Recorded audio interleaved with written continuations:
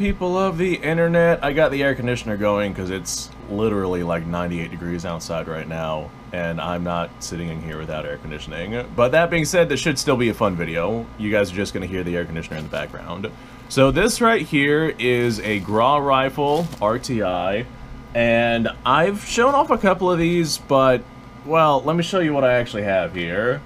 The models of Gras that I have, this is one that I actually refurbished, this right here is, I think it's their cavalry model if memory serves me correctly. But anyway, the main reason why I got these is because they got these gorgeous brass uh, bands on them.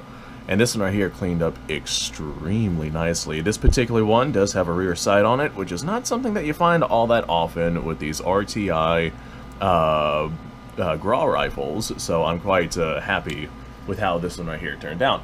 However, the Gras rifles that I have, these cavalry models, that's just one model, and I wanted to go ahead and add a second model to the collection, uh, just for, you know, future video purposes and whatnot. Might come in handy down the road, and I'm always looking to add more to the collection. So this right here should be their long rifle model.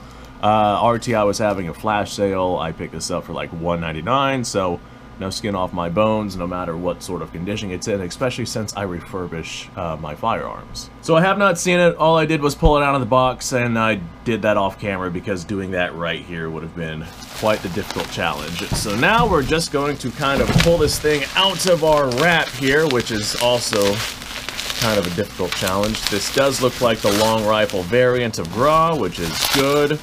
Means RTI did not mess that up at least. Let me pull this off here. Okay, Alright, so this is what we're looking at. We have ourselves bayonet lug down here. This almost looks like a Lebel bayonet lug. I'll have to I'll have to look at that because I have a Lebel. I'll go ahead and throw them up side by side. No, maybe not. I'll check them out. We actually have ourselves a cleaning rod with this one. Uh, barrel bands have seen better days. There's not much finish left on this thing, at least not out here finish down here is pretty good. We actually have some of a rear sight on this thing. Look at that. Now that is awesome. I was not expecting to have a rear sight on this one. I've gotten really lucky with my rear sights. So far, all of my Gras rifles have had rear sights on them. Alright, we got markings right here, clearly added by the Ethiopians. I think that says, like, in service to the Emperor or something like that. Not positive about it. I'll have to touch up on that. Let me see if I can find a date of manufacture on this. Da da da da. 1877. So this right here is quite the old rifle. 1877, that puts it at about 150 years old. Let's look at some of these markings here. Da-da. This is, it just says M1874 right there on the receiver, which means that this right here is not a Chassepot conversion, which is fine. I've already got a Chassepot conversion. This right here does have the M80 update.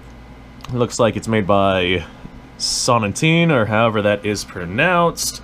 Let's open her up. Nice stiff spring means it'll probably go off if I manage to find ammo for it. We do not have a loaded chamber, which is definitely good. Uh, there have been some instances where RTI has sent out rifles that still had some old-ass ammo in them, so Glad to see that this one is not the case because getting that old ammo out of these chambers can be quite on the difficult side. What is this? What is this? Okay. Alright, I'm not entirely sure what this right here is, but it's red and stained and it looks like blood. But I'm going to just tell myself that that is some kind of grease. Oh, I bumped my camera again. Sorry about that, guys. Okay, so I have some of a rear sight. And I can definitely work with that. Lift this up, and I got a little aiming picture right there. Front sight looks pretty gosh darn good as well.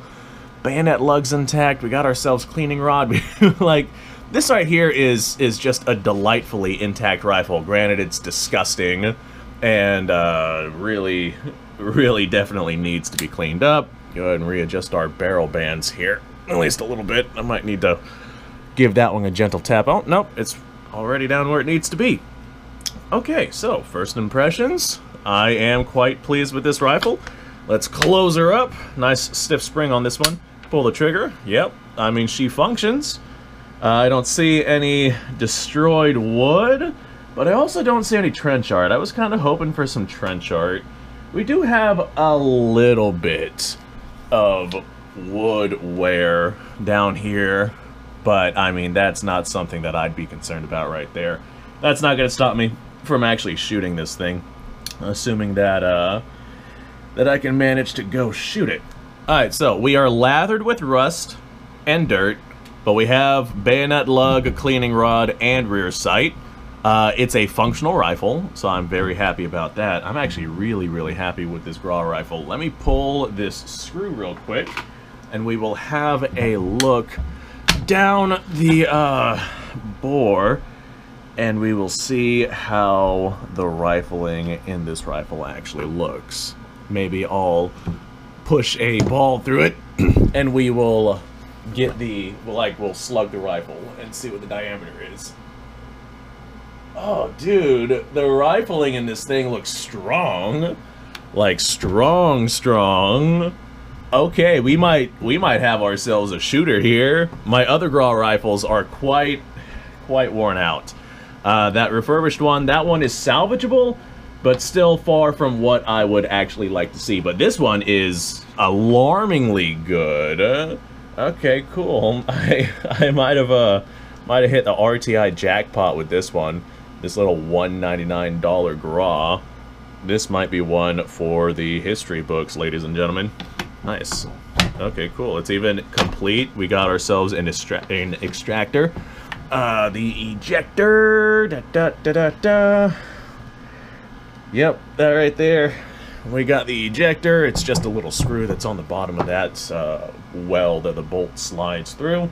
Let me grab a round ball. I want to see um, what the actual muzzle looks like. So this right here is a 445 round ball. If the bore on this is any good, then this should not go very far in at all. Oh, it just kind of it just kind of got swallowed. So I might have to do a counter bore with this thing. But besides that, the uh, the rifling itself inside of this rifle is actually like quite exquisitely good. I'm overwhelmingly surprised at how decent the rifling is in this thing. I would try to show you guys, but I don't have a means to show y'all right now. I don't have my little camera with me. But that's okay. Uh, just take my word for it, the rifling in it uh, looks pretty gosh darn good. So that being said, this right here is me showing off my 199 RTI Gras rifle. Now I just have to uh, be able to shoot it. Let me show you guys what I got rigged up over here.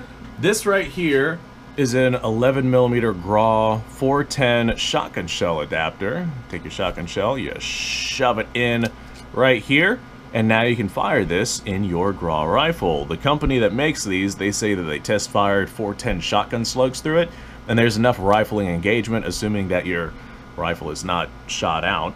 Uh, there's enough rifling engagement to where uh, the slug does not keyhole while going downrange. Or, of course, you could just fire bird shot like what I have right here. Uh, this right here was all I was able to find. 410 is not all that common in my particular area, but this right here is a really good option to be able to fire a Gras rifle without having to spend like $10 a shot on it. Okay, so I am quite pleased with this rifle. Definitely going to clean it up because she is she she she has seen better days, that's for sure. So that's probably what I'm going to be working on after this video. Besides that, thanks for watching. Do appreciate your time. Like, subscribe, share. Description below has a link to all sorts of stuff. Go check it out. You guys go off. Have yourself a fantastic day. See you on the next episode.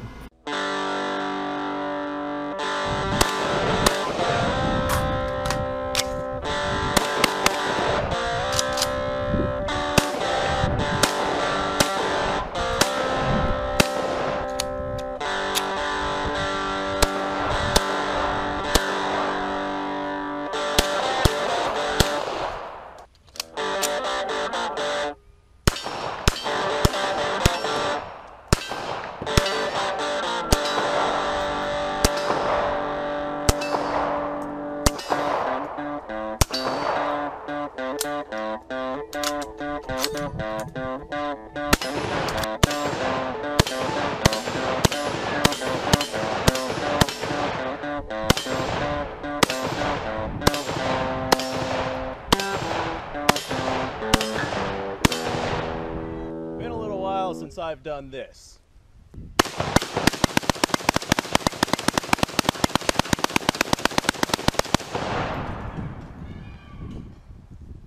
Bonnie and Clyde be damned.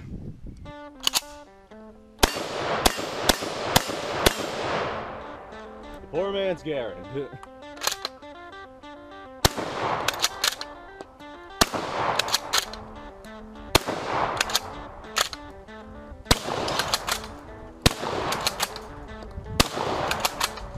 shame that bolt action shotguns aren't uh, more mainstream.